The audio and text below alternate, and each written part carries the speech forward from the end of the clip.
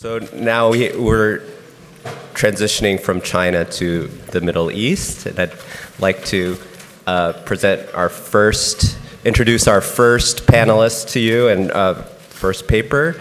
Um, Hans Lukas Kieser is uh, associate professor at the University of Newcastle in Australia, and he's also the titular professor, a titular professor at the University of Zurich. His research focuses on the demise of the Ottoman Empire. Uh, and his most recent book, Talat Pasha, Father of Modern Turkey, Architect of Genocide, uh, came out recently in 2018 with uh, Princeton University Press, but he's also uh, published very widely on many, very, many different topics, including uh, uh, on missionary work in the Middle East. Uh, so we're very pleased to have Hans Lukas uh, with us today, and he will uh, start us off.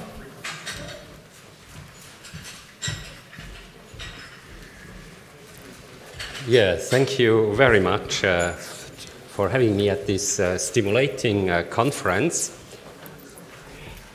Uh, exactly 30 years ago, David Fromkin's, Fromkin's A Peace to End All Peace was published. This was a work that uh, assessed post-Ottoman, post-Great War uh, peacemaking, and I would say it remained valid in many, but not all points. Time conditioned, it notably underestimated the lasting political uh, momentousness of religion that is uh, manifest these days the lasting presence of the, of the Armenian genocide and the continuity of, the, of late Ottoman, post-Ottoman, identical late Ottoman, post-Ottoman actors, in other words, non-European agency on the ground. The history of the Near East treaties uh, needs to be reassessed based on today's uh, improved knowledge uh, about the long Ottoman war decade and its aftermath in interwar Turkey and uh, Greater Europe, a war decade starting in 1911 with Italian invasion in Ottoman Libya. The history of the, the Turkey is a significant early focal point of a more general development in interwar Europe and until today of the post-Ottoman world. Perhaps uh, comparably to China, I have learned a lot during the last panel, but very differently at the same time. In this, in this very short presentation, let me first introduce my topic, compare in, the, in a second uh, section Paris, Paris-Sèvres and uh, Lausanne, because you will see why I need to talk not only about Paris, and then uh, third, clarify the road from one to the other by focusing the anti-Paris uh, organization agitation of Turkish nationalism and be underlining the continuity of late Ottoman, post-Ottoman actors. That is the transition of power from Talat's, Talat Pasha's Young Turk to Mustafa Kemal Atatürk's Kemalist, both single party regime with uh, almost identical uh, cadres. In spite of what I announced in my abstract, I will not have time to delve into, into possible compromises, alternative projects that were missed or lost on the road from end of war Istanbul, the Ottoman capital, to Paris and finally Lausanne. The core problem, to my sense, in all of my books since the 90s, 1990s, is the absence of effective social contracts uh, in the Ottoman and post-Ottoman regions. And therefore, uh, only a later paper might do justice to Young Turk Finance Minister Javid Bey. I mentioned him in my abstract to Stephen. Uh, uh, and uh, so Javid Bey uh, will not be a topic here. Javid Bey, I just mentioned him very shortly, was a very sensitive uh, uh, observer of the Paris conference and an advisor of the Turkish delegation in Lausanne. He has left a huge and rich uh, diary in Ottoman language, uh, thousands of pages. He was a Turkish nationalist with a difference, also a Dönme, a crypto Jew, finance minister, a close collaborator of Talat Pasha, and finally executed by the Kemalists after a show trial in 1923. So you might be a little bit curious to read my paper later if, if it becomes a chapter.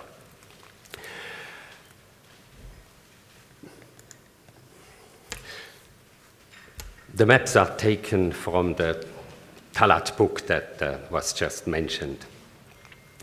For major parts of the post-Ottoman Middle East, the Paris peace uh, system proved not only unstable in the medium and long term, it remained dead letter uh, already in the short term.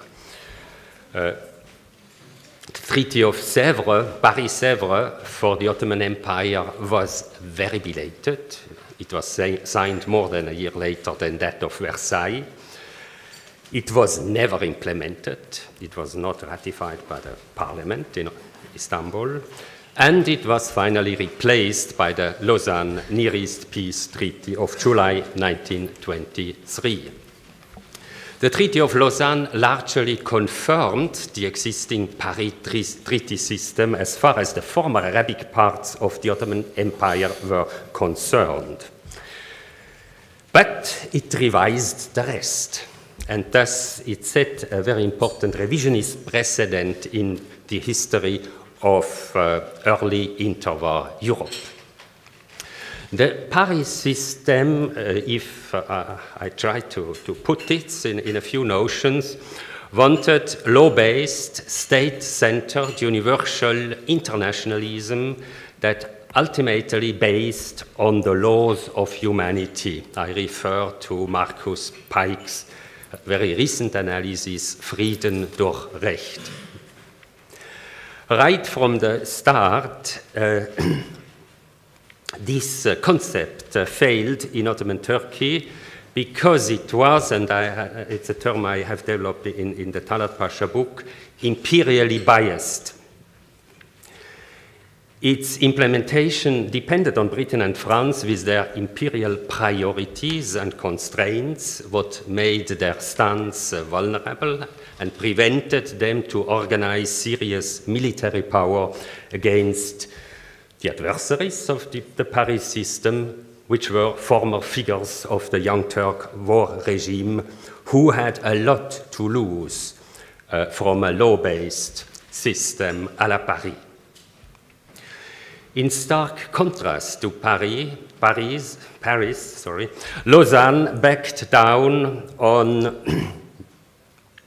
uh, domestic uh, ru rule of law and minority rights to endorse the right of the powerful, the Islamic Turkish nationalist forces organized by General Mustafa Kemal, the later Atatürk except for its endorsement of authoritarianism and right by might from a certain angle, the Lausanne regulations, however, still looked like a state centered universal internationalism, with finally Turkey also to become a member of the League of Nations.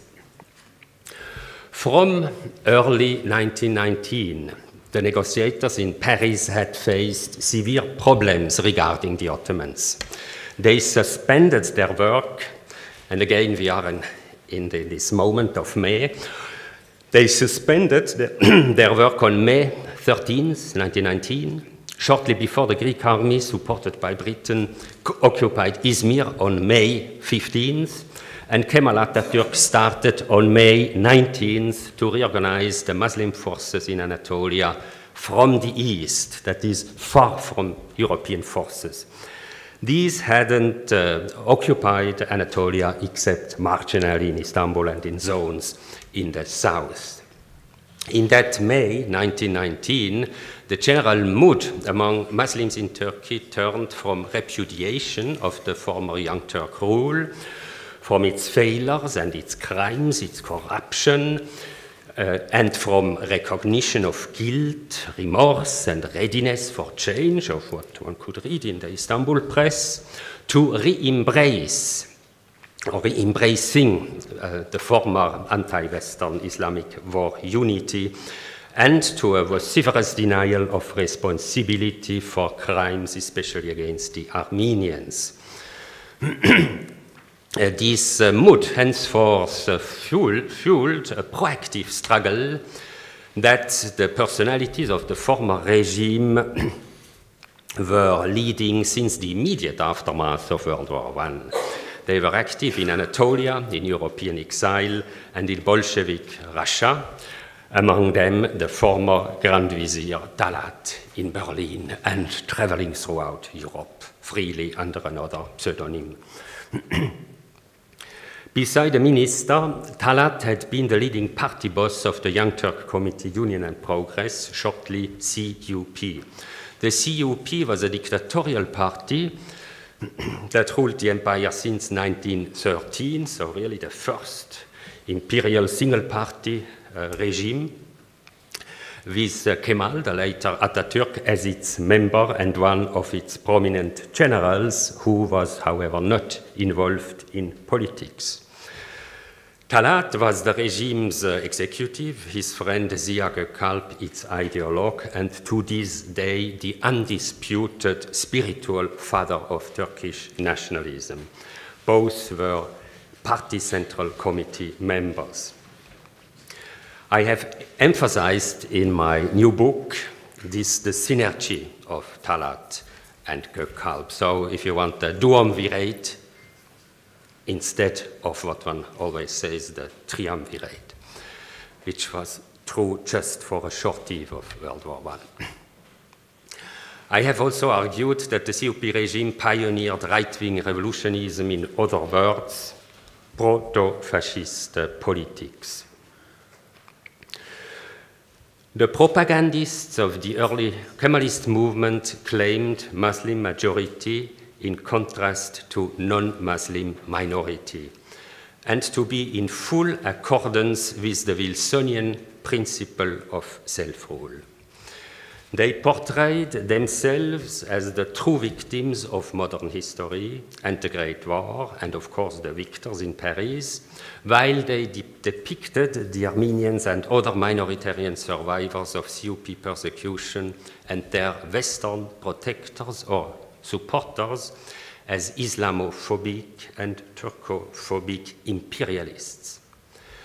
Caroline Liebisch, our colleague here, has recently published a very instructive article. She will certainly also tell us more now on the then master propagandist Saf Safet Atabinen, a collaborator of Talat, then of Ataturk, secretary of the Turkish delegation in Lausanne, and deputy in Ankara. These ex-CUP forces struggled against the emerging Paris peace system from spring 1919. Uh, and concretely led in Anatolia from May 1919 by Kemal, Mustafa Kemal. They declared the Istanbul government and the Sultanate Caliphate under foreign tutelage. This rhetoric won over also the Sunni Kurds, who feared especially restitution of property to Armenian survivors. Kemal's ex-CUP circle organized a national revolutionary counter-government in Ankara, while negotiations in Paris crystallized 1920 in the Treaty of Sèvres. Whereas the Istanbul government represented the Ottoman Empire in Paris-Sèvres, the Ankara government represented two years later Turkey in Lausanne. There were two red racks to Ankara in the Sèvres Treaty. The limitation of Turkish territory to most, not all, of Asia Minor, and most importantly, a serious limitation of sovereignty, including international justice. The Kemalist victory in the War for Anatolia in 1922 set the determining matrix for the revisionist Conference of Lausanne. And in principle, the Treaty of Lausanne between Turkey and the victors of World War I is still the valid treaty for the post Ottoman world. I need some water, sorry.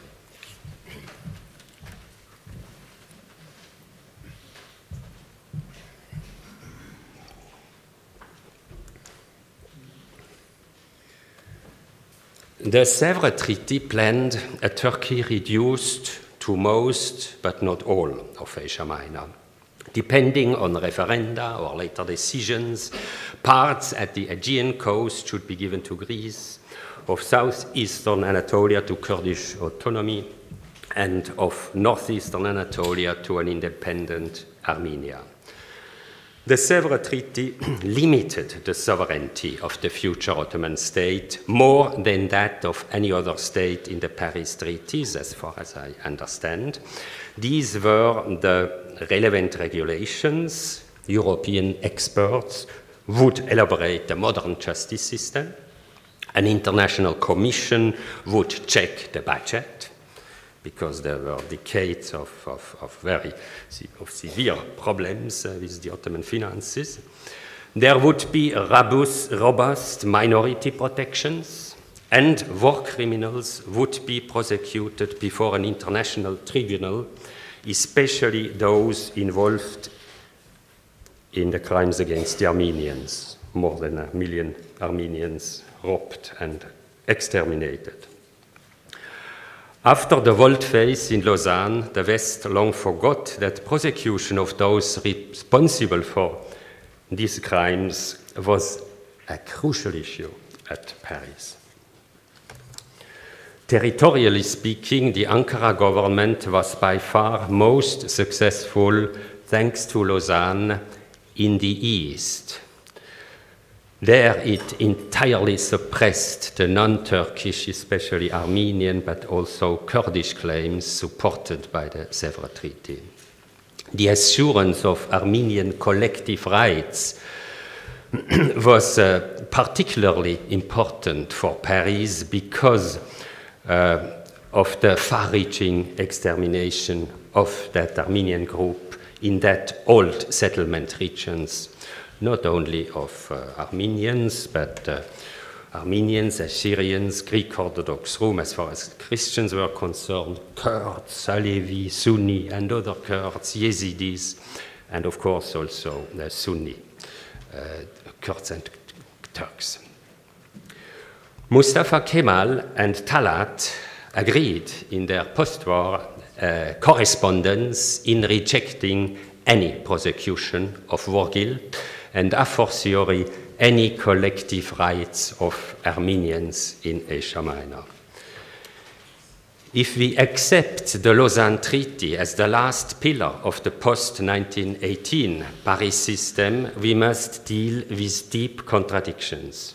Lausanne largely dismantled Paris' internationalist framework. That is a law-based order of constitutional countries, or if you want, constitutionalism domestically and internationally.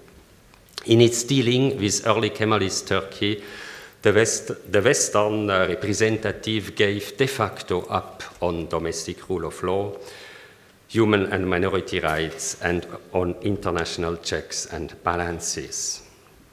Also, the diplomats at Lausanne, Turks included, and emphatically still largely used Paris language and rhetoric. They actually they valued the constitutional internationalism. This concept already before, partly of course, served agendas of victors. We have heard this already. While at the same time, however, uh, it binded the victor, victors also. Lausanne, in contrast, reduced the language of rights and international liability almost at absurdity. We might therefore, from a totally different angle, as well consider the Lausanne Treaty as belonging not to the Paris system, but to a new post Paris category of interwar diplomacy, and not as the last pillar of the Paris system, a new diplomacy marked both by, both by interest driven Western politics that had given up on the rights of weaker groups and the embrace of post Ottoman strongmen who all were rooted in the 1910s, particularly in the era of Talat Pasha's imperial single party rule.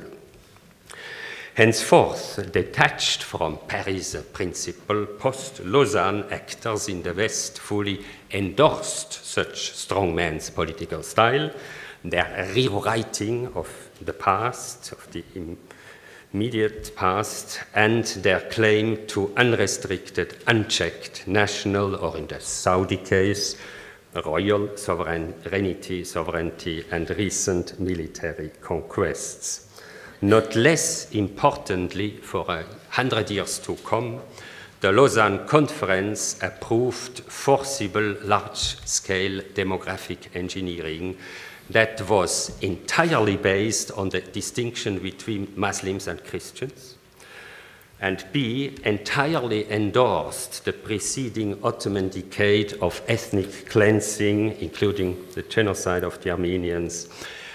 And this ethnic cleansing under Talat also entirely based on the, on the fundamental distinction between Muslims and Christians. Uh, I have come to the end of my time, even not to the end of my paper, but uh, that's the destiny of, of many speakers.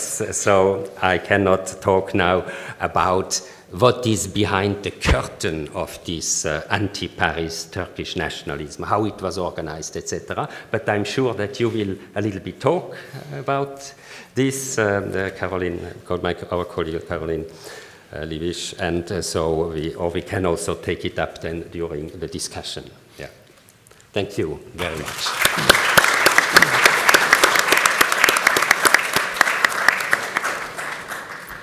Thank you so much. Um, our next speaker is going to be uh, John Boonstra, who received his PhD from the University of Wisconsin Madison in August of 2018. Overall, his research asks the question of how unique sites of colonial contact uh, shaped ideologies of gender and empire. Um, his dissertation uh, a mandate uh, to protect, protect imperial encounters and effective ideologies between France and Lebanon, examines the formation of an imperial relationship between France and Lebanon in the late 19th and early 20th centuries.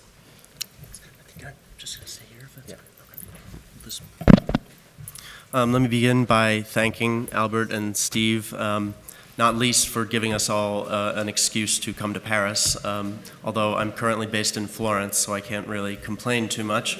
Um, I also want to begin with a caveat to my paper's title, in that I'm not beginning, I'm beginning neither with Maronite Patriarch Elias Hoyek nor the Paris Peace Conference. Uh, in the spirit of some of the earlier uh, presentations this morning, I'm, I'm, going to start with a, a, lesser known, less heralded conference before, and with the Patriarch's deputy before talking about the Patriarch himself at the Paris Peace Conference. By the end of the war, Lebanon itself had become a martyr. So proclaimed the Maronite Archbishop Alfred Khoury, speaking in, in January 1919 at a conference convened in Marseille to discuss France's role in the Arab provinces of the former Ottoman Empire. The martyr of Lebanon, Khoury declared, represented the tragic coronation and bloody consecration of its historic relationship with France having suffered a loss of nearly a third of its population to famine and disease, conditions exacerbated by a French led wartime blockade of the eastern Mediterranean, Lebanon emerged from the Great War with its historic connection to France palpably damaged. At the same time, amidst the collapse of Lebanon's erstwhile Ottoman sovereign, France emerged as the most likely protector of Lebanese autonomy, both before and during the Paris Peace Conference. In the immediate post war context, ties between Lebanon and France were tested at a key moment of colonial opportunity. Organized by the Chambers of Commerce of Marseille and Lyon, the summit at which Khoury proclaimed Lebanon's martyrdom brought together an array of politicians, activists, and intellectuals, as well as businessmen, journalists, teachers, jurists, and other professionals.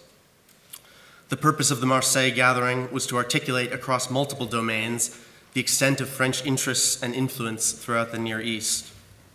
Experts analyzed different facets of French involvement in Greater Syria, divided into four thematic sections economic and agricultural, archaeological, historical, and ethnographic, cultural and edu- educational, and medical and scientific.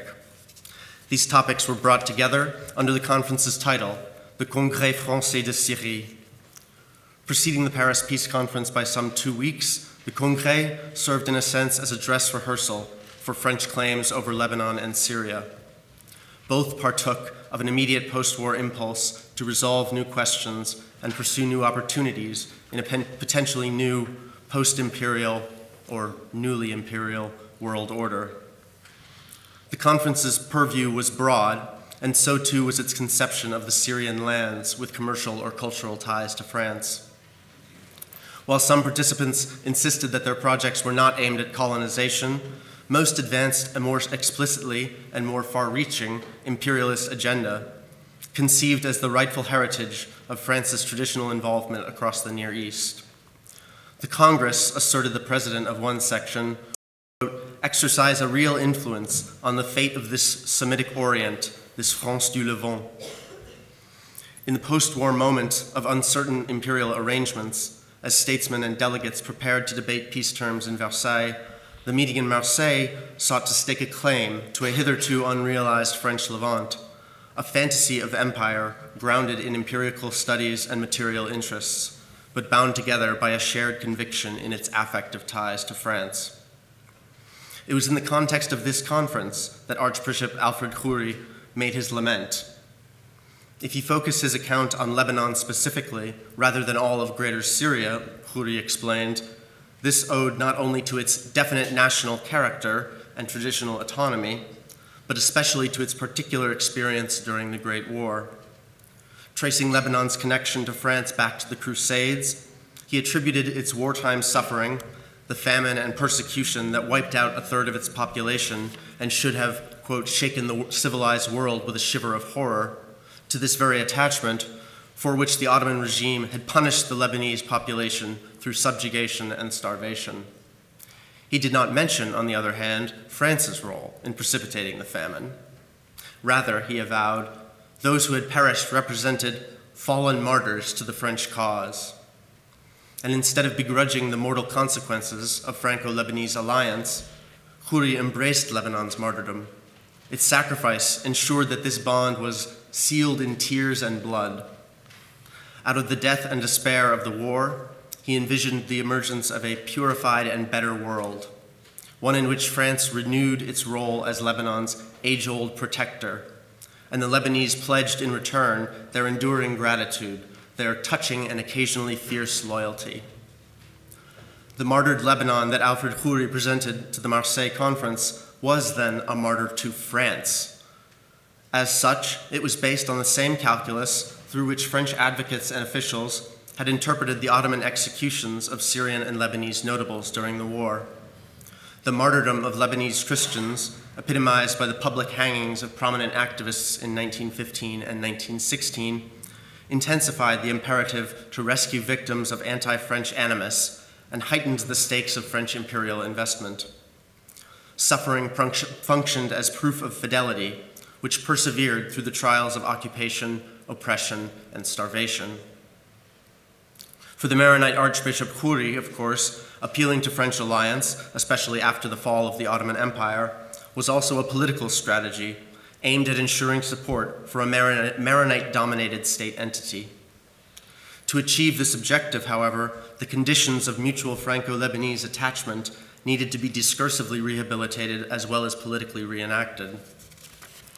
At the same time, the extent of France's empire across Syria was left to be delineated, delineated and defended.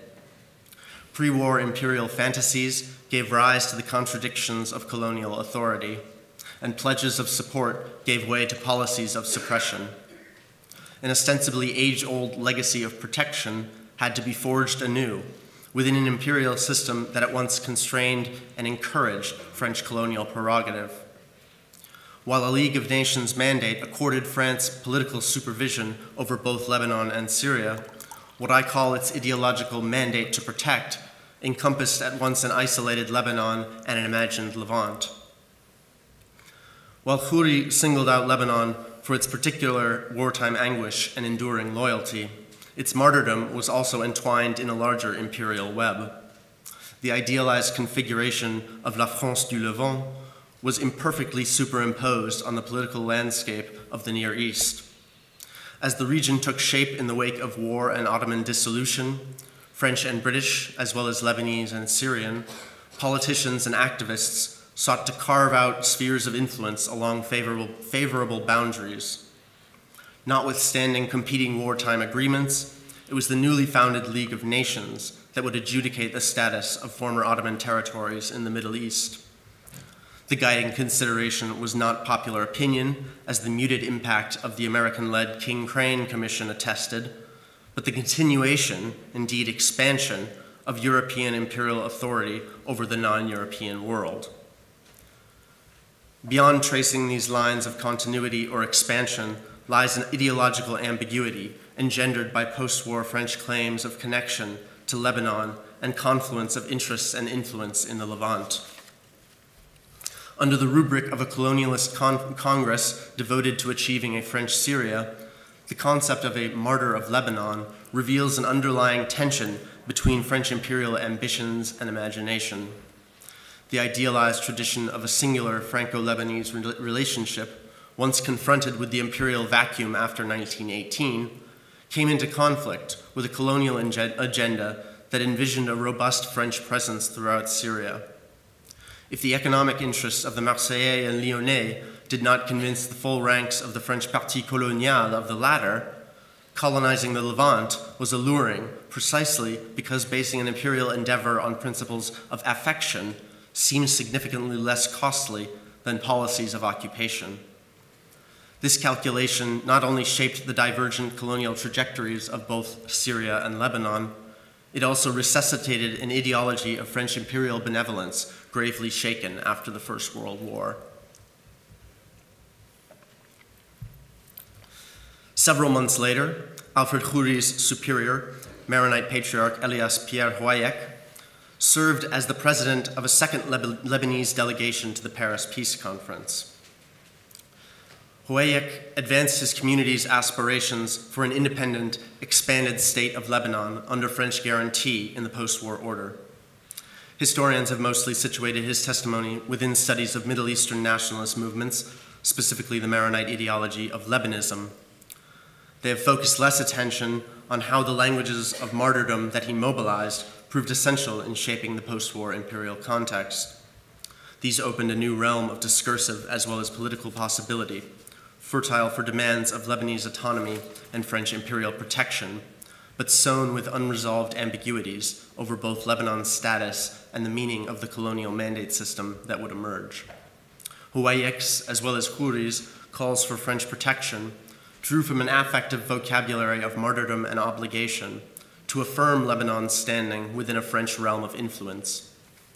These claims functioned not only to create a sense of post war indebtedness, they also crafted a narrative of suffering that effaced France's own responsibility for causing the famine that had decimated Lebanon's population during the war. The Maronite patriarch, moreover, was not only aligning Lebanese attitudes under the rubric of French protection, he also contrasted Lebanon's position in the hierarchy of empire as well as civilization with that of neighboring Syria. The eventual creation of Greater Lebanon as a political entity, I propose, occurred within an imperial framework in which Syria functioned as the violent backdrop against which Lebanon would be defined and defended. Among the tasks of the 1919 Paris Peace Conference, assembled to settle the multiple lingering questions posed by the dissolution of three major empires, was to mock up plans to allocate former Ottoman and German imperial possessions to France and Great Britain. They would be neither colonies nor protectorates, but semi colonial mandates. And I should add to, to Japan as well, as we've, as we've heard uh, this afternoon. Indigenous actors also seized the opportunity to make direct appeals to the European powers, appeals which were more often than not ignored. Lebanese voices may have resonated among their ostensible French protectors not simply out of traditions of sentimental allegiance, but also thanks to the appealing narrative of Lebanon's martyrdom for France during the First World War. Amidst competing political agendas over boundaries and modes of governance, the language of martyrdom proved essential in shaping the post war imperial context. The testimony of the Maronite patriarch heading the second Lebanese delegation to Versailles, the first had been a, a secular um, group from Lebanon's administrative council um, earlier in, in, the series of meetings. Uh, this exemplifies, the, the, testimony of the Maronite Patriarch exemplifies the pressure from Christian Lebanese, chiefly Maronite activists, dubbed Lebanists in the historiography of Middle Eastern nationalist movements, for an independent, expanded state of Lebanon under French guarantee in the post war order. This was indeed Hoyek's objective. As Carol Hakim has demonstrated, the Lebanist vision with it, and its cartographic manifestation, incorporating Beirut as well as the Mediterranean coast and the Bekaa Valley into a greater Lebanon, came into focus precisely at the moment leading up to its ultimate achievement in 1920. Hoyek had been a devoted partisan of France throughout his tenure as, pa- as patriarch, pledging at the outset of the Great War Maronite and Lebanese loyalty, quote, to the traditions of attachment that a long series of benefits had established toward France their generous protector. After the war, Hoyek invoked the suffering from famine as well as from fighting of those Lebanese who had, quote, paid with their blood for their allied sympathies and their love of liberty. Policies designed to bring about the calculated starvation of Lebanon's population, as well as targeted executions, he contended, represented Turkish and German reprisals for Lebanese sympathies for France. He claimed that it was the, quote, attachment of the Lebanese to the Allies' cause and their loyalty to France that had provoked these measures of savage repression, which endured even after Lebanon was abandoned by its erstwhile protector. Hoyek here deployed an argument analogous to wartime pleas for French intervention, recalibrated to invoke a sense of post war indebtedness. Since affective bonds to France had imperiled Lebanese survival, Hoyek requested in exchange for this devotion recognition of Lebanon's protected status. The desiderata that Hoyek submitted to the peace conference, and for which he appealed to French obligation, were not limited to the independence and expansion of Lebanon. They also included an explicit call for French protection under the mandate regime. In accepting the mandatory system of the League of Nations, based on Lebanon's need for political tutelage and economic support, he also drew from an affective vocabulary to affirm its standing within a French realm of influence. While he stressed the imperative of Lebanese sovereign autonomy, he also conceived of Lebanon as a distant extension of France itself. This terrain of French culture had been cultivated over centuries, he claimed, and was marked by an affinity like one rarely sees in the history of peoples. Hoyek, of course, was not simply operating within a traditional idiom of Maronite alliance with France. He was also seeking his community's and his own political advantage. But his testimony can also be read as evidence of the need to continually reiterate and thereby reconstruct a narrative of stability and mutual benefit between Maronite Lebanon and Imperial France. The patriarch also made sure to distinguish Lebanon from neighboring Syria. The two countries were delineated as respective zones of amity and antagonism, paralleling tensions within the French imperial mission between imperatives of Christian protection and illusions of Muslim friendship. The latter, though, would be belied by France's victory over and protracted counterinsurgency campaign against Syrian separatists throughout the 1920s.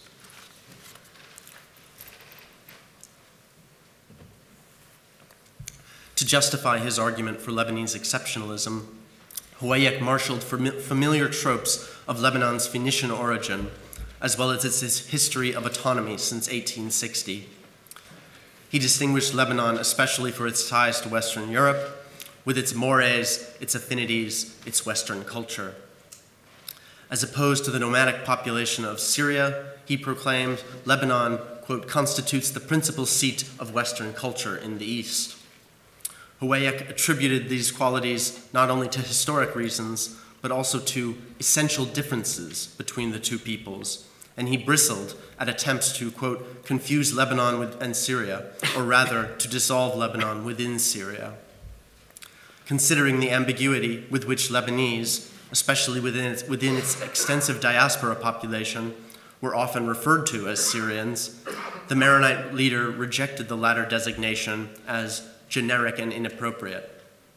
Nothing unites these two countries, he concluded, neither their past, nor their aspirations, nor their intellectual or political evolution. Even as Hoyek underscored the distinction between Lebanon and Syria, welcoming the role of French counsel and friendship in securing an essentially Lebanese government, he also called on Mandate France to ensure, quote, the national unity of the different communities of Lebanon. The dual imperatives of Syro Lebanese division and Lebanon's internal unity were not simply reducible to questions of religion and sect, nor solely to an assumption of Christian affinity and Muslim antagonism. Imperial allegiance was meant to extend across confessional bounds, notwithstanding Lebanon's distinct connection to France. Neither should Hoyek's appeal be merely dismissed as the disingenuous posturing of a Maronite nationalist. Rather, this paradoxical formation was built into the very imperial system that structured relations between France and the Levant.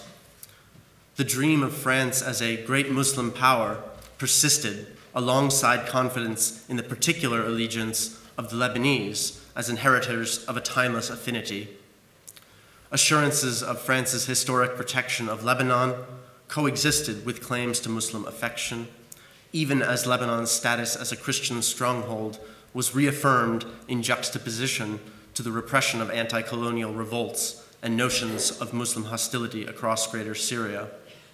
And when Greater Lebanon assumed its officially enlarged borders on September 1, 1920, the new mandatory state incorporated, incorporated what would prove to be, to Lebanon's dismay in the, in the decades that would follow, a substantially larger Muslim population.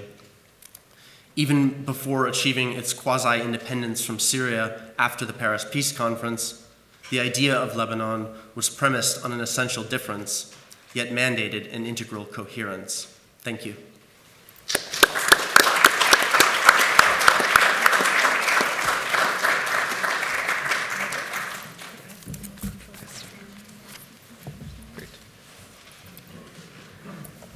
Thank you for that paper. Um, next is uh, Carolin Liebisch, who is a postdoc researcher and lecturer in modern and global history at the University of Kiel, Germany. In October 2018, she completed her PhD from Heidelberg University with a dissertation on Turkey and the League of Nations, an entangled history of nation building. Thank you very much, Albert. Uh, I'm not sure if I can live up to the very high expectation of continuing Hans Lukas Kieser's paper, but I think that my paper will link in with it in many ways. So, future maps of Asia Minor were unfolded on the negotiation table at the Paris Peace Conference in early summer 1919. There were many designs, and they varied greatly in terms of borders and territories. A common feature of all plans, however, was the partition of Ottoman Anatolia. And, and this is what my presentation is about, they all envisioned the creation of some sort of international administration or mandates in Asia Minor. This retrospective and somewhat counterfactual map shown here, for instance, visualizes the scheme suggested by the American led King Crane Commission, John just mentioned, that visited Turkey in June 1919. Their plan included the transformation of Istanbul into an international city, as well as the placement of the whole of Turkey under US League of Nations mandate. Three months earlier at the conference, Lloyd George and Clemenceau had supported a similar proposal by Colonel House. House had suggested US administered League of Nations mandates over Istanbul, the Straits, Armenia, and in a kind of weakened form, also over Turkey itself. Woodrow Wilson, worrying that he might lack national support, came up with the counter-proposal to place the entire Turkey under French mandate. Meanwhile, Clemenceau and Lloyd George came up with yet another alternative, an Italian mandate over South Anatolia, a French mandate over the rest of Anatolia, and an American League of Nations mandate over Armenia. Istanbul and the Straits, they proposed, should form a separate state under American protection. In the midst of these debates, Eric Drummond, the first secretary of the League of Nations, advanced his own proposal recommending that Istanbul should become a free city under the protection of the League of Nations. Now, this was only a small selection of all plans on the table, but I think it was enough to demonstrate that internationalized forums of administration formed a key idea in the debates. The idea of international administration itself had emerged back in the 19th century. Ever since, it often served imperialist and colonial purposes. The Ottoman Empire, whose state finances fell under the control of a European orchestrated international debt administration in the 1880s, is a case in point. In the aftermath of World War I, the instrument of international administration reached a new dimension with the foundation of the League of Nations and its mandate system. The League just like international organizations in the 19th century, used discourses on civilizational development as a pretext for foreign control, desovereignization, and imperialist infiltration. The majority of works on this topic, especially on the mandate system, focuses on the League of Nations mandates in former German colonies and in the Ottoman Arab provinces. Surely this makes sense because actually these are the regions where the mandate rule was established. In Turkey, besides the occupation period and the international straits regime, uh, the issue of mandates and international administrations was actually quite uh, short lived. Yet my aim is to convince you that it is nevertheless worth taking this issue of mandates and international administration in Anatolia, in Anatolia into account, even though they never materialized. So yes, for the most part, they remained but talk, schemes, and a unratified treaty. But, as I hope to show, the mandate debate did have a significant, significant effect on Ottoman activists protesting the peace conference in 1919. Before I share with you some insights from the propaganda pamphlets they published, I would like to give a short overview about who those activists actually were and which role they played in the post war years. During the Paris Peace Conference, official Ottoman diplomacy was in deadlock. The Sublime Porte sent a delegation to Paris whose plea for territorial integrity the Allied Supreme Council harshly rejected, even ridiculed. The Allies indicated that the Ottoman Empire would undergo a territorial transformation. As a key reason, they cited the alleged cruelty and inability of the Turks to run a civilized government. Given the relative powerlessness of the Ottoman government in face of the empire's petition, Ottoman intellectuals plunged into propagandistic activities. Some of them were based in Istanbul, others in Paris, Geneva, or other European cities. Together, they formed a sort of transnational network addressing the peace conference and the surrounding public in English and French.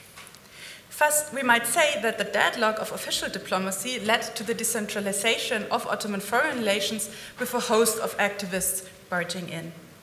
In terms of their political attitudes, the activists were a heterogeneous group ranging from right wingers to national liberals.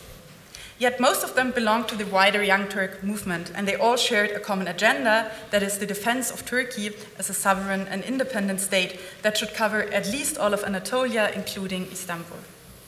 They were all Turkish nationalists actively involved in nation building. Some of the activists attempted to create a unified movement. They started initiatives like the so called National Congress, a cross party coalition founded in late 1918 by Esat Işık and former members of the uh, Young Turk Committee of Union and Progress, the CUP uh, Hans Lukas Kieser mentioned and explained. Another example for the attempt to create a unified movement is the so called National Bloc, called together by the liberal president of the Ottoman Senate, Ahmed Rıza. These initiatives were not identical with the Turkish national movement formed by the group around Mustafa Kemal Pasha in summer 1919 and ultimately taking a militant shape. Rather, they were part of a network of civil resistance that later integrated into the national movement. In order to strengthen their goals, all of the activists invoked Wilson and his 14 points, which had promised, quote, the Turkish portion of the present Ottoman Empire a secure sovereignty, unquote. Yet, it would be superficial to describe their agenda simply as a Turkish Wilsonian moment. So, also from my side, um, the appeal to provincialize uh, the Wilsonian moment. I see three reasons at play. First, the Ottoman activists utilized not only Wilsonianism to bolster their nationalist agenda, but in many cases also pan Islamism, pan Turkism, or socialism. Taken together, their rhetoric was an ideological potpourri with nationalism at its heart. A second reason, their concept of nation was rooted in the Young Turk movement. It implied the idea of a homogeneous Turkish Muslim nation. I would therefore support the thesis of Volker Prott, um, who suggests in his, in his, books on the politics of self determination that actors in Central and Southeastern Europe translated Wilson's um, language into ethno nationalist programs of ter territorial reorganization. I will come back to that point later. There's a third reason why, in my view, the narrative of a Turkish Wilsonian moment falls short. While the Ottoman activists' writings during the Paris moment indeed reveal the influence of Wilsonian language, they were equally influenced by the language of mandates. Mandates mattered for the nationalist Ottoman activists. For um, Ahmed Reşit, for example, who belonged to the liberal Turkish diaspora in Geneva. Reading the newspaper Journal de Genève in March 1919, he learned about the partition schemes I just mentioned. The League of Nations he read might supervise foreign mandates over Anatolia and Istanbul. Outraged, he wrote a letter to Woodrow Wilson in which he bemoaned the lack of Wilsonian idealism in Paris. Um, mandates, he complained, were nothing but annexation and old style Machiavellianism. Two months earlier, also in Switzerland, Mehmet Halil Halid had published his pamphlet. A devoted young Turk and pan Islamist, Halil Halid charged the British government of imposing control, quote, under the pretext of introducing good order or doing civilizing work, unquote. He strongly warned against, quote, the continuation of imperialist practices in the League of Nations. International administration, he stated, is as bad as the worst form of autocratic tyranny.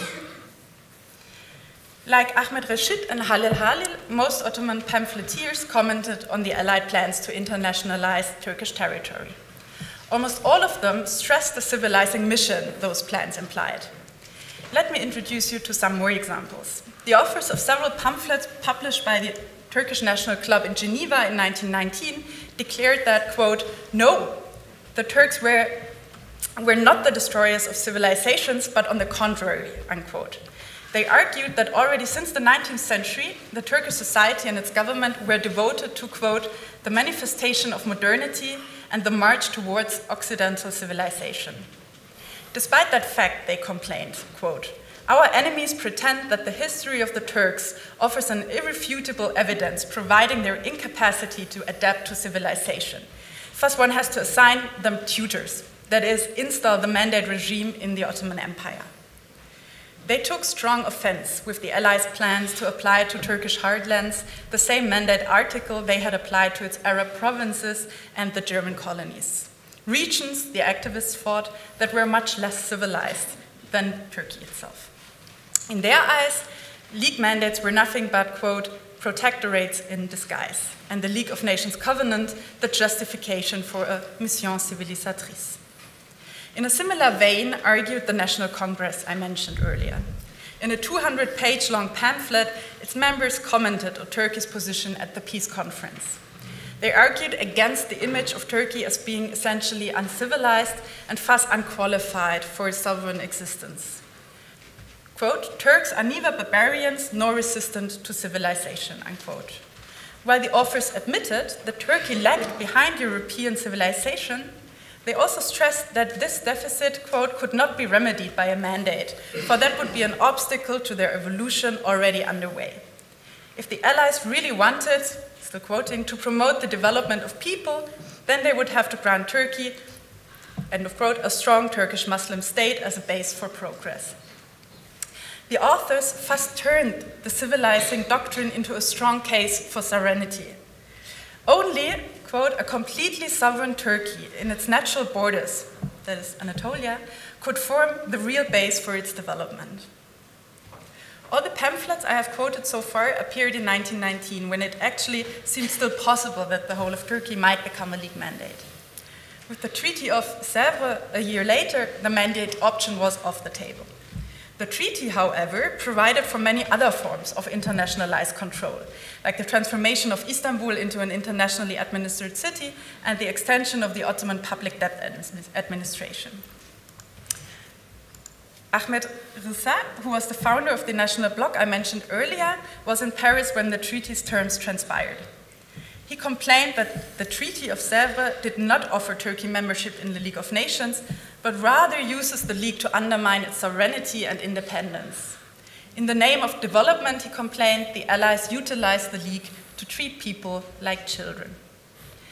I could cite many more examples, actually. Uh, obviously, I could have also cited Reşit Safet, which today is not part of the talk. But I hope it was already enough to show that Ottoman activists during the Paris moment not only opposed Allied occupation and the partition of Turkey, but they also explicitly opposed the civilizational claim of international administrations with which the Allies sought to legitimize their plans. They made it clear that the Turks were already civilized in their eyes and that any further progress in civilization would, necess would necessitate national independence. At this point, it is important to stress that those activists, in their same pamphlets, turned on Armenian and Greek minorities. The nation whose independence they defended was not some multi ethnic community, but already thought of as an essentially Turkish Muslim nation that needed to be defended not only against European imperialism, but also against Armenians and Greeks. Ahmed Reshid, for example, spoke of, quote, Armenian hatred against Turks and Armenian intrigues and Greek machinations.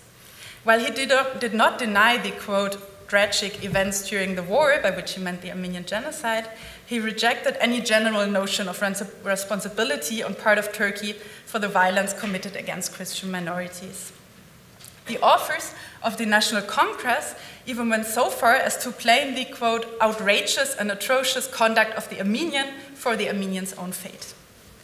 Obviously, the intention behind such comments was to delegitimize any allied punishment of Turkey as well as Armenian and Greek territorial aspirations in Anatolia. Beyond that, there existed a link between the activists' rejection of culpability um, and their attempts to prove Turkey's civilizational capacity. Like the Allies, who used Turkey's alleged uncivilizedness to justify their post war design, Armenian and Greek politicians had pointed to the Turks' supposedly intrinsic cruelness and barbarity and demanded to put an end to Turkish rule.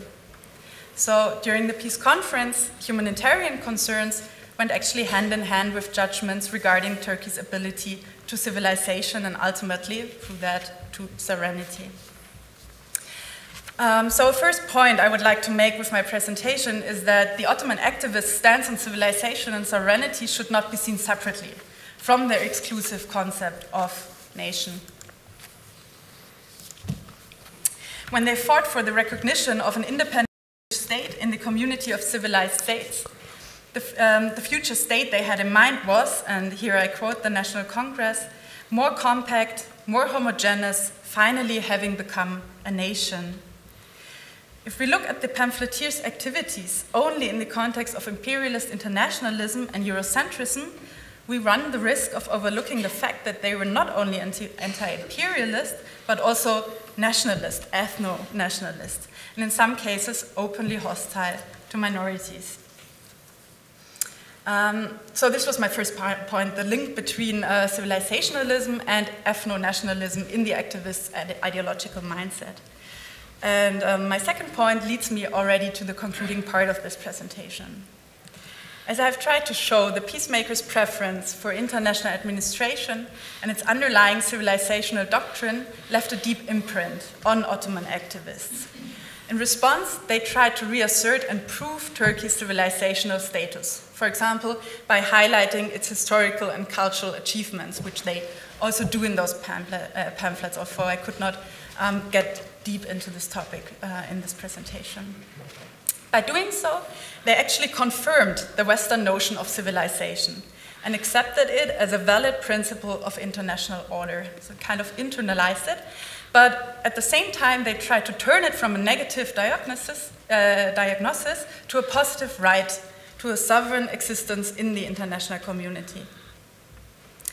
Uh, in the Turkish Republic, founded in 1923, the idea of self civilization developed into a key agenda of Kemalist nation building and the transformation of Turkey into a modern European state. This is what the founders had in mind. The Paris Peace Conference, this would be a second point, uh, was a crucial factor in this development. Its negotiations made it clear to Ottoman elites that the First World War had not nullified the old standard of civilization in international organization. And that, in order to gain a secure sovereignty, in the words of Woodrow Wilson's 14 points, it was essential to get rid of any accusations of uncivilizedness. All four discourses on civilization in the Ottoman Empire had a long and contested history that predated the peace conference, of course, I would argue that the Paris moment, with its drive towards imperialist internationalism, was a catalyst for fixing the idea of self civilization or an internal civilizing mission in Turkish nation building and in the Turkish national identity as well. Considering their lasting effect on Turkish nation building, a look at the unrealized mandates in Anatolia and the very real debates they triggered can also contribute to our understanding of the meaning of the League of Nations mandate system. As Susan Pedersen, in her book on the mandate system, argues, its biggest impact was generating talk on the international level about the legitimacy of colonial structures, basically.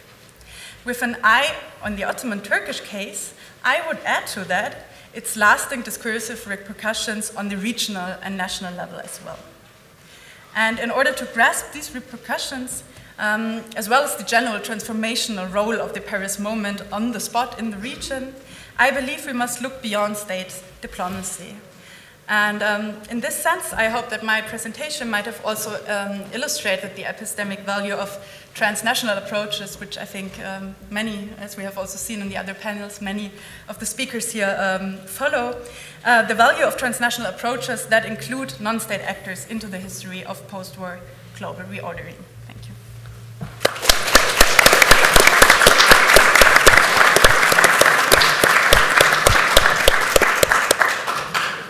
Thank you all for these very stimulating panel uh, papers and also for uh, keeping uh, to the time limit. I'll, I'll just open up to questions and uh, allow people to. yes, Professor Zelikow, please. Thank you. Um, I'd like to invite the panelists to comment on choice. So, um, Dr. Kieser's presentation is a very challenging presentation.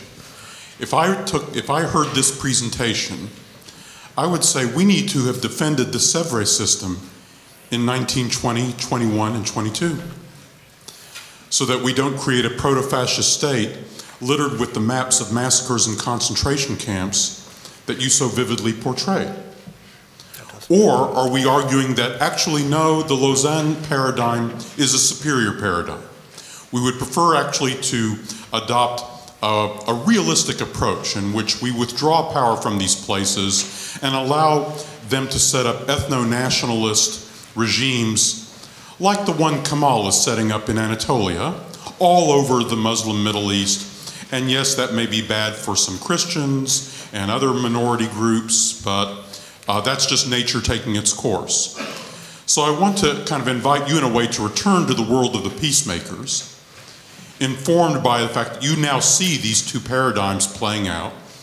The alternatives for the Maronite Christians in Lebanon, if they don't want the French to come back, what ethno-nationalist state uh, and what or warfare takes its place instead of the French, and invite the panelists now to consider sort of, if, if, not, the, if not the Lausanne paradigm or the Saudi Arabia paradigm replacing the Hijaz and all of that, if not that paradigm, then what? And can we collect maybe one more one more question to go with that? Yeah. So, I thank you for the.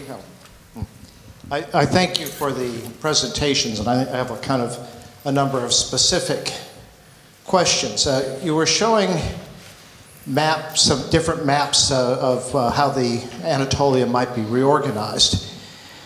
And I wondered what the level of information of the peacemakers was. Of course, Harold Nicolson has a very humorous description, as I recall, of Lloyd George and uh, Clemenceau confusing a topographic map with an ethnographic map. Uh, so uh, you showed a map of Kurdistan. Uh, to what extent did they know where, in fact, Kurdistan might be? Um, the, uh, the other point I'd make is, of course, you, you spoke of uh, autonomy, Article 62, but there was Article 64, which said if once they had autonomy, then the Kurds might be offered a state of their own after a year if they, if they wanted it. Uh, and then, I'm sorry, just a series of, of, but you raised some very interesting points. To what extent did the, the, the Turkish nationalists that you talk about, to what extent did they consider, for example, again, to come back to the Kurdistan question, whether their state is going to be Turkish? Did they say, well, the Kurds are Turks? as Ataturk later was, or was there some recognition of uh, uh, different entities? And, and, finally, to what extent did we, we, talked about the Christians, but what about the other minorities? The Al- Alawites, the Yazidis, the Mandeans uh, figure into the discussions of the um, peacemakers. Thank you. Um, Carolin, would you like to start? Um, yeah, sure. If I may, I would start with your last question regarding the role of Kurds and Kurdistans in the nationalist mindset. So I think there again, it's important to note that uh, they were not a heterogeneous group. And the, there were liberals among them, and um, some of the liberals, one of them I actually showed Ahmed Rashid, another person was Sharif Pasha, who was actually the representative of Kurdish interests at the Paris Peace Conference. Uh, the interesting thing is he uh, not only went to Paris to speak for um, the autonomy of Kurdistan, but also for uh, sovereign and autonomous Turkey. So he kind of represented both uh, countries. And Sharif Pasha and Ahmed Rashid are an example for this liberal young Turk figures who actually had a federalist idea in mind. So they had accepted the end of Ottomanism, the end of the Ottoman Empire, and they were um, agreeing with the idea of self-determination as long as Turkey would also be a self-determined um, nation. But among those pamphleteers I, I showed, there were also more yeah, right-wing nationalists, especially the ones belonging to the Turkish Nationalist Club in Geneva. Um, many of them later merged with the Kemalists, and um, they rejected Kurdish, um, Kurdish interests or the idea of, of Kurdish autonomy. Um, very clearly, especially later on at the Lausanne conference, um, where the emerging national movement, in which those people actually kind of kind of melted, um, was representing Turkey. There, the um, diplomats argued that uh, the Kurds um, living at the borders, so the contested borders, were actually Turks. So they had these historic. Uh, anthropological wild theories where they claimed that uh, those, those, Kurds were ancient uh, Turks and uh, you know actually that gave Turkey the right to claim, uh, especially Mosul. That was their argumentation. Um, the second question you raised regarding how informed they were about actually the geographic and political uh, realities. Um, I think there's a reason why they, they decided to send not just one commission to Turkey in 1919, but even two. I mean, next to the King Crane Commission, there was the Harbord Commission, of course. And I really hope that, uh, I really think that they hope that those expert commissions would gather reliable information, not just about uh, geographies, but, but especially about um, political preferences and identities. I mean, they clearly wanted to know who belongs where.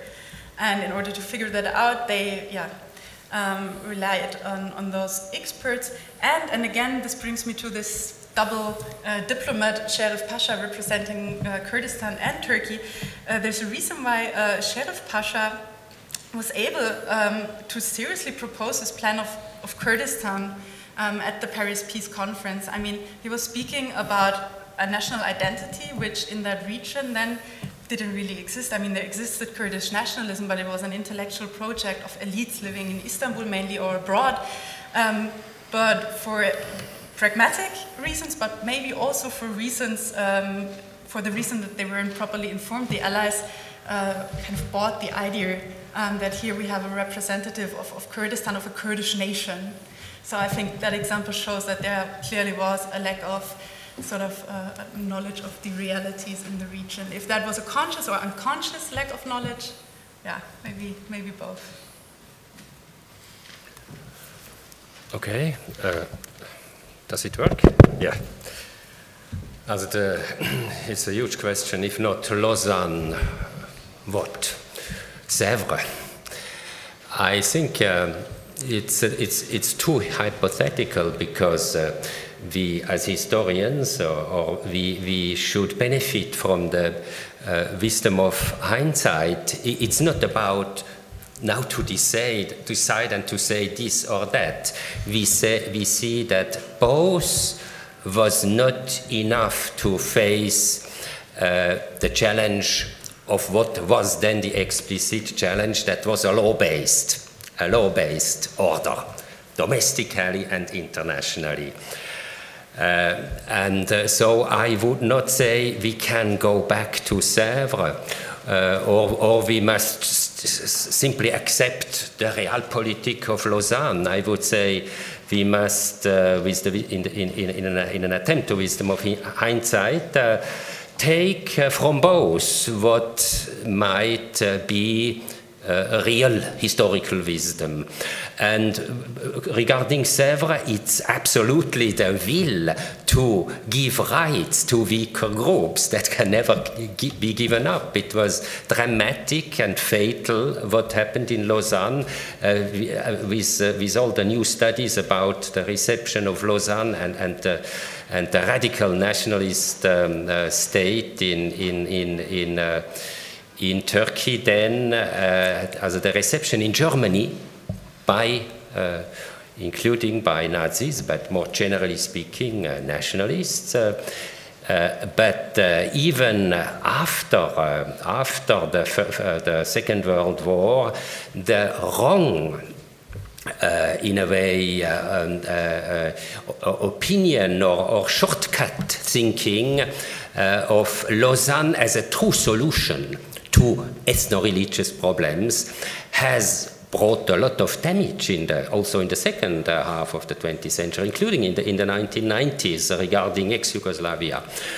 So we must see the price of Lausanne, a very, very heavy price. So, but if, if you ask me, that's, it's not about going back to Sèvres because what, what I have called the imperial bias it is a too evident imperial bias that Sèvres was within a, frame, framework of of, uh, of the thinking, of political thinking, of the modern national uh, empires of, of Britain and France in particular.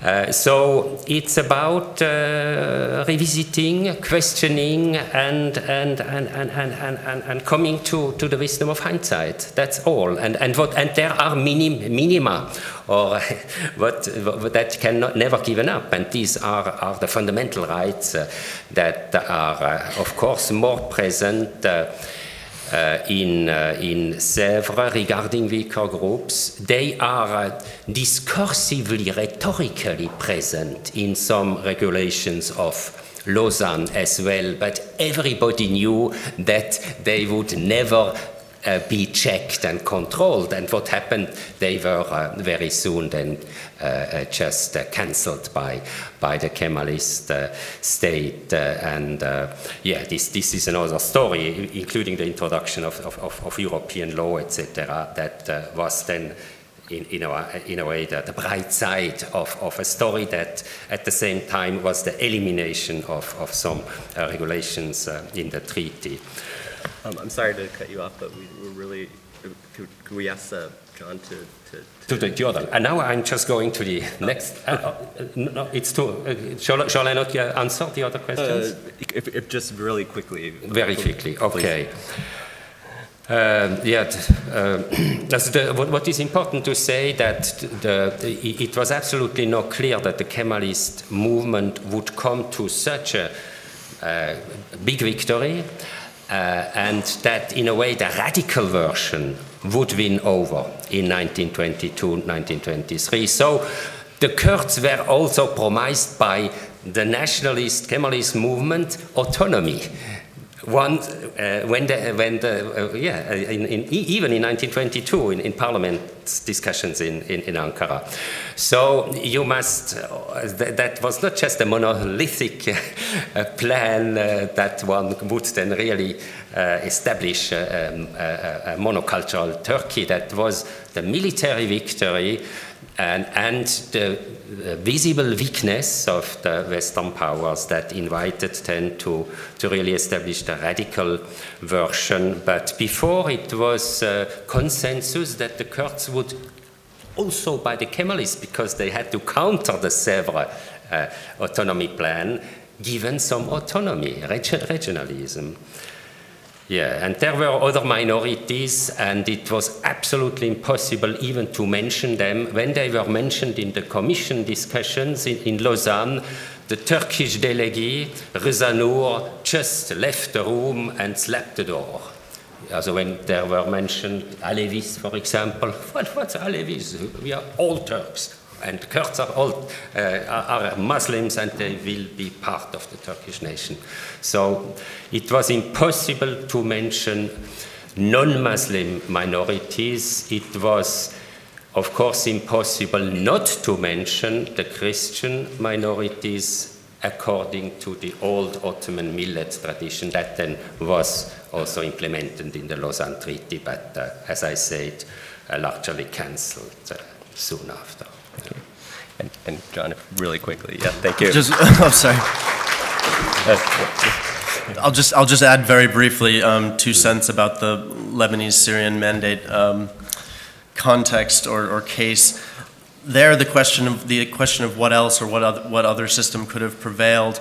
Um, for Lebanon, there could have been there was a small Lebanon solution and a greater Lebanon, a petit Liban and a grand Liban, and in some ways, it was more, it would have been more in the Maronites' interest to advocate for a petit Liban because Mount Lebanon, while certainly not free of strife, since uh, an 1860 intervention to, to stop Druze um, Maronite violence was, was what one of the things that precipitated this Franco-Lebanese connection, uh, would not have incorporated the substantial numbers of other minority populations, Sunni and Shia Muslim, Druze, um, Alawite, and, and this, this confessional Lebanon is, this is the legacy that, that was bequeathed uh, from, from the post-war peace movement um, and, and with disastrous consequences as the Lebanese civil war um, attested to. And then just very briefly on the question of other minorities in this case,